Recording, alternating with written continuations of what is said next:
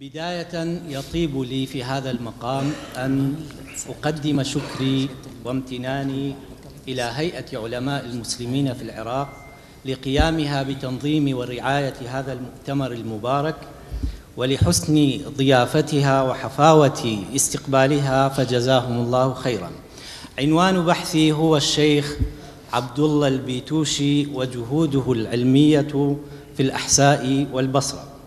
تعلمون سيادتكم أن في مثل هذه المؤتمرات العلمية لا نستطيع أن نقدم البحث وما جاء فيه بشكل كامل وإنما نحاول أن نعرض مضمون البحث عرضا موصوفا بالإيجاز التزاما بالوقت المحدد.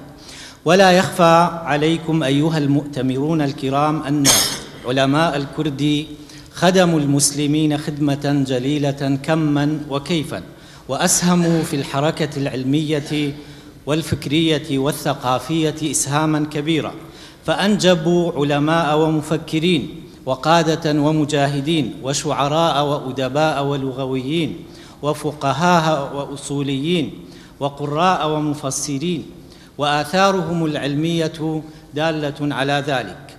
ولا تزال نتاجاتهم العلمية والفكرية مرجعا اصيلا تدرس في كثير من البلدان والحواضر الإسلامية.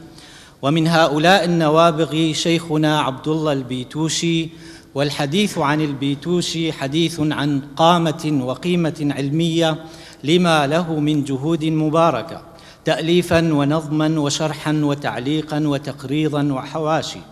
وجاء هذا البحث تثمينا لجهوده العلمية المباركة وإحياء لسيرته العطرة وبيانا لما له دور في الحركة العلمية في القرنين الثاني والثالث الهجريين في كردستان وفي البصرة والأحساء.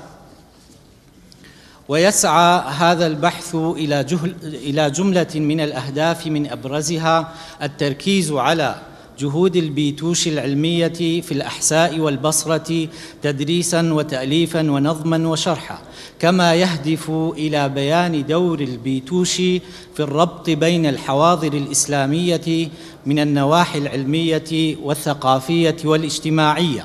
والمنهج المتبع في هذا البحث هو المنهجان الاستقراء والوصف. وقد اقتضت طبيعة الموضوع والمادة العلمية المجمعة لدينا بناء البحث على مبحثين وخاتمة وتوصيات. أما المبحث الأول فيتكون من مطلبين.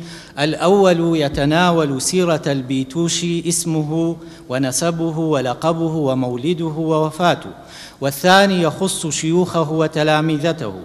والمبحث الثاني يناقش مطلبين أيضا الأول يخص تآليفه ومنظوماته وشروحه وحواشيه وأما الثاني فيركز على جهوده العلمية في الأحساء والبصرة.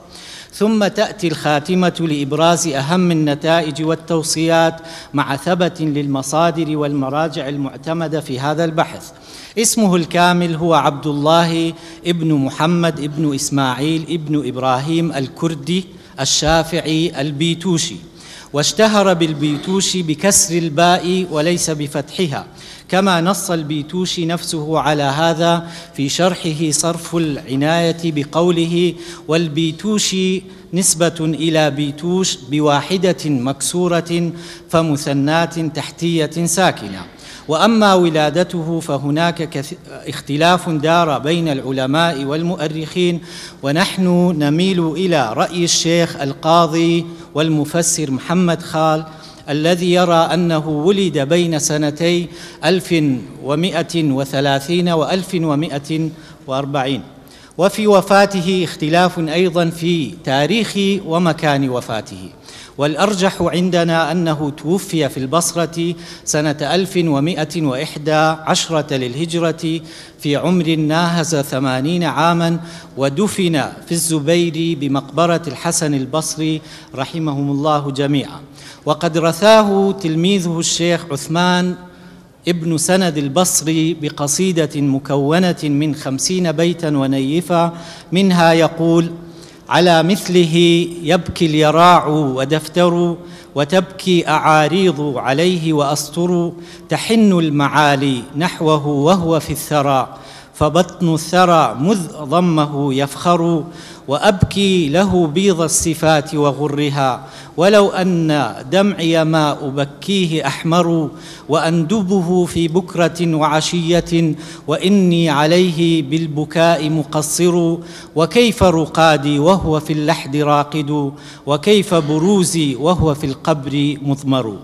ومن أبرز شيوخه والده الشيخ محمد البيتوشي وأخوه الشيخ محمود البيتوشي والعلامة محمد بن الحاج والعلامة صبغة الله الحيدري والعلامة عبيد الله ابن صبغة الله الحيدري والملا محمد الغزائي أما تلامذته فأبرزهم الشيخ محمد ابن أحمد العمري الموصلي والشيخ عبد العزيز بن صالح آل موسى والعلامة عثمان ابن سند البصري العالم والأديب والمؤرخ أحد أعلام البصرة وكبارها صاحب كتاب سبائك العسجد وأصفى الموارد والغرر ومطالع السعود والشيخ ناصر بن سليم النجدي والشيخ عبد الله بن عثمان النجدي والشيخ الملا أحمد بن رسول القراوي والشيخ معروف النودهي ومن لا يعرف الشيخ معروف فهو اسم على مسمى.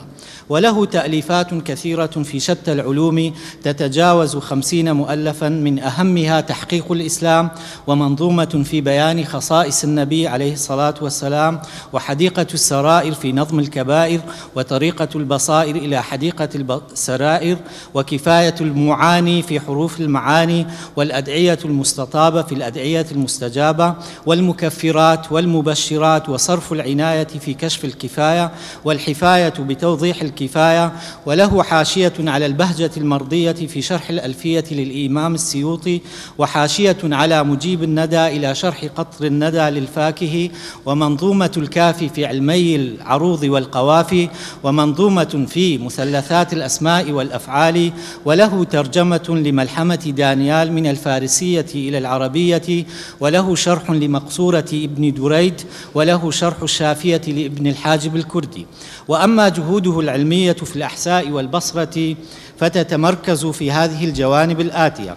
أولا في التدريس فكان البيتوشي رحمه الله بعد وصوله إلى الأحساء بمدة قصيرة ذاعت شهرته حتى أعجب به حاكم الأحساء عرعر بن دجين فعينه مدرسا في مدرسة شرعية في بلدة مبرس التابعة للإحساء واشتغل بالتدريس قرابة أكثر من عشر سنوات. وفي البصرة أيضا عين مدرسا في مدرسة الرحمانية قرابة سنتين في المدة التي كانت البصرة محتلة من قبل صادق خان الزندي سنة 1189 ومن أهم ما ألفه البيتوش في الأحساء أولا كفاية المعاني في حروف المعاني والحفاية بتوضيح الكفاية وصرف العناية بكشف الكفاية وطريقة البصائر إلى حديقة السرائر والمكفرات والمبشرات وشرح الشافية لابن الحاجب. ومن أهم ما ألفه في البصرة حديقة السرائر في نظم الكبائر ومنظومة في مثلثات الأسماء والأفعال. أما في نظم القصائد الشعرية من غير المنظومات التعليمية فكان البيتوشي شاعرا بارعا ذا قريحة شعرية مرهفة صادقا فيما يقول لذلك نجد صوره الشعرية تتسم بالصدق الفني فكان يختار من المواضيع أنسبها ومن الألفاظ أجملها ومن المعاني أدقها ومن الصور أصدقها ومن البحور أوفاها مع أنه كان يأبى أن يلقب بالشاعر فيقول في أبيات مع أنني لا أرتضي بالشعر لي لقبا وإن يكن وإن يكن وإن يك كل من حسجدي يأباه لي علمي وآباء الأولى ورثوا المكارم سيدا عن سيدي لكن أحيانا أذود بنظمه عن خاطري هم الزمان الأنكدي نعم. وفي الأحساء والبصرة نظم أشعارا آه، وقصائد كثيرة جدا في موضوعات المديح والرثاء والغربة والعتاب وغيرها من الموضوعات الشعرية. ومن أشهر هذه القصائد قصيدة اشتهرت بالقصيدة العراقية. يقول فيها إني أحن إلى العراق ولم أكن لا من رصافته ولا من كرخه لكن في بغداد لي من قربه أشهى إلي من الشباب وشرخه. ومن أبرز النتائج التي توصل البحث إليها سعى البيتوشي سعيا جادا إلى إنشاء صلات وعلاقات علمية بين الحواضر الإسلامية وبهذا وبهذا استطاع الربط بين كردستان والبصرة والأحساء من النواحي العلمية والثقافية والاجتماعية. وكل ذلك يؤكد على تأثير علماء العراق عامة وعلماء كردستان خاصة في غيرها من الحواضر الإسلامية الأخرى.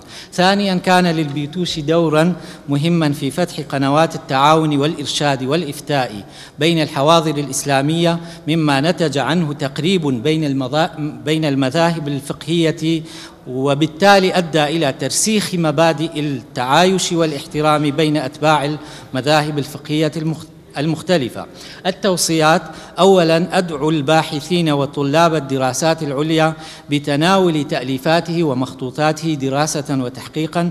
وثانيا انعقاد مؤتمر خاص بجهوده العلمية. وآخر دعوانا أن الحمد لله رب العالمين. وصلى الله وسلم على سيدنا محمد وعلى آله وصحبه وسلم. والسلام عليكم ورحمة الله.